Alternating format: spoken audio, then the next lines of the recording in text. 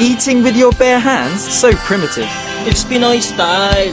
Tara, tikman mo to. Iwi! Iwi? What's iwi?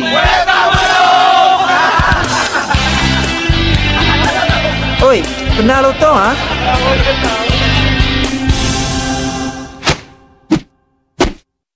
Oh, ano tinitingin-tingin nyo dyan? Chupana. Ah,